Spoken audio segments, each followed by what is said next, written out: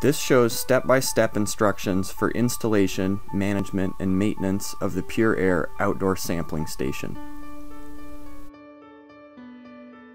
Here is the complete setup of the station. It includes filter station, a nephelometer, and a MET1 monitor. We have also provided other accessories including a solar panel and a UPS battery. You will receive a large box containing all the monitors and accessories. This is the filter station, made up of a control box and an inlet box. Here is the nephelometer, the MET1, a UPS battery, and a solar panel. It is important to first make sure you have received all parts and accessories. Contact me immediately if you're missing any of the items shown here. You will need a metal pole about this size, which needs to be secured on a flat rooftop to mount the samplers on. Use the hose clamps and the power tool provided to mount the control box. Secure the box to the pre-assembled pole using the metal bars attached to the back of the cases.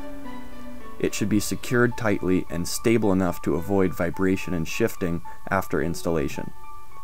It should also be able to withstand extreme weather events. The control box should be about 1 meter above the rooftop floor. Next is the inlet box. Position and mount the inlet box at about 1 meter above the control box. To install the nephelometer, you need longer hose clamps. Join two smaller hose clamps to make it longer.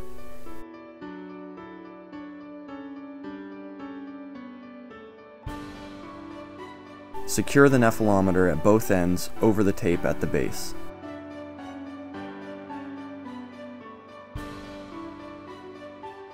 The nephelometer should be placed between the filter control and inlet boxes. Finally, install the MET1 monitor to the top of the metal pole above the inlet box. Again, use hose clamps to fasten the MET1 monitor to the pole.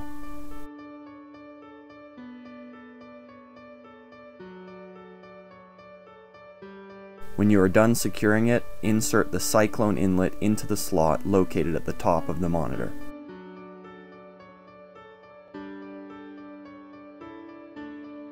For the filter station, first connect the filter inlet to the control box using the tubing labeled 1 to 8. The tubing and their corresponding ports are both clearly marked.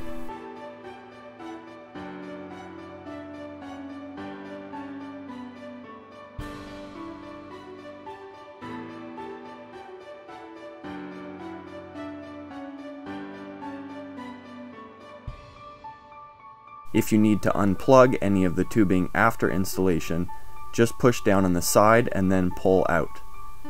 Check to make sure everything is well placed and secured. Next, connect the pump to the control box. Where to connect the pump is clearly labeled. The pump is located at the base of the control box. Be sure this is well tight. The nephelometer should be connected to the 12 volt power coming from the control box. The control box itself must be connected to the AC output port on the UPS battery.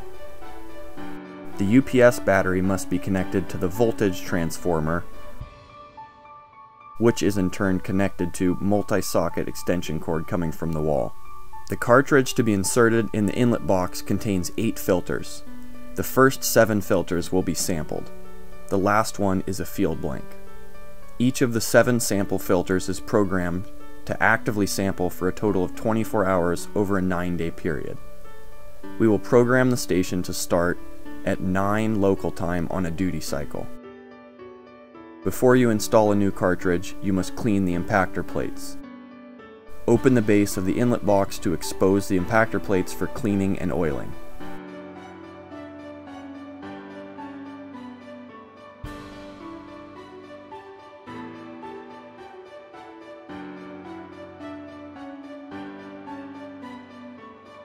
You also need to put some mineral oil on all 8 impactor plates. There are gaskets, sampling log sheet, and two memory cards in the cartridge box. Check that the number on the cartridge box matches the number on the log sheet. Place the two gaskets correctly on either sides of the cartridge.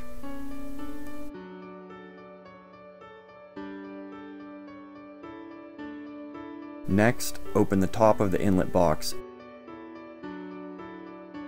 and release the red clamps inside. Place the cartridge in the slot with the metal bolts facing upward.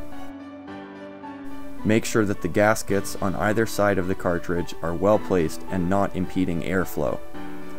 Secure the cartridge into place by pushing down tightly the two red clamps.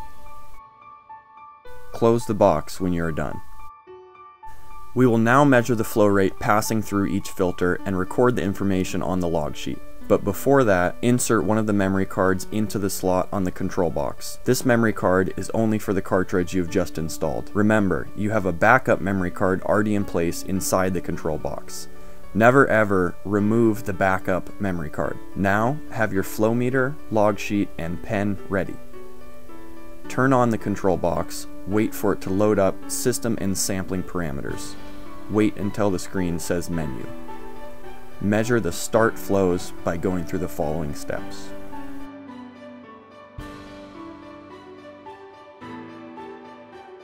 Select Menu. The screen should say Sampling Settings. Select Next. Under Functional Tests, select Go. Under Valve Test, select Go again. It should show valve, flow, and vacuum values. Select Vacuum. We need to record two flow readings for each filter. The one on the control box screen is called internal flow, the other on the flow meter is the external flow. This is important. Connect your flow meter to valve 1. Adjust the external flow on the flow meter as close as possible to 4 liters per minute using the flow control knob. This must be done for valve 1 only. Record both external flow and internal flow on the log sheet. Use next and repeat the same steps to go through the next six valves, valves 2 through 7. Do not adjust flows for any of the other six remaining valves. Manual flow adjustment is allowed for valve 1 only when measuring the start flow for filter 1 only. Simply read the reported flow values for the other six filters, valves 2 through 7, and record on the log sheet.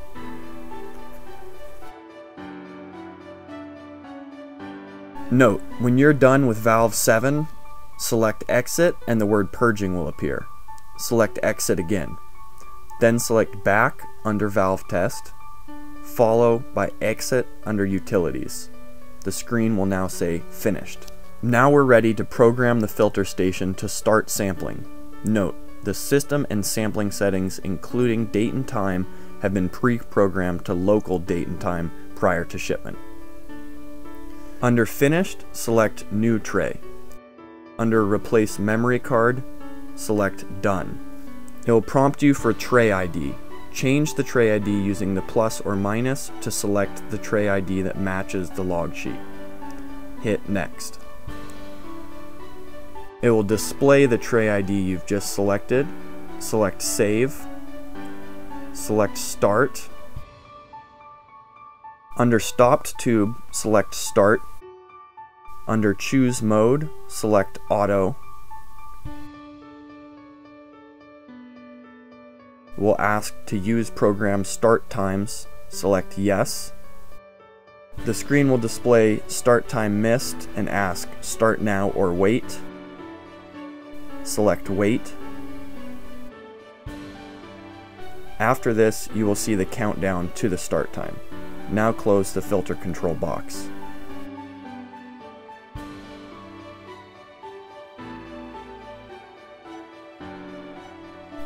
The nephelometer and MET1 do not need much work.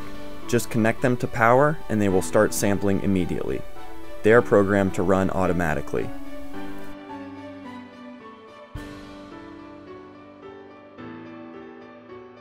For the nephelometer, first open the gray cover. Insert one of the memory cards and make sure it is well secured. Flip the power button to on position. When power comes on, the nephelometer will immediately begin to sample. Check to see that both power and data lights are on.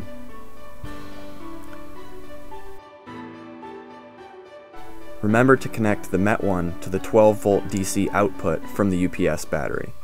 When power comes on, the MET1 will immediately begin to sample and stream data live via satellite.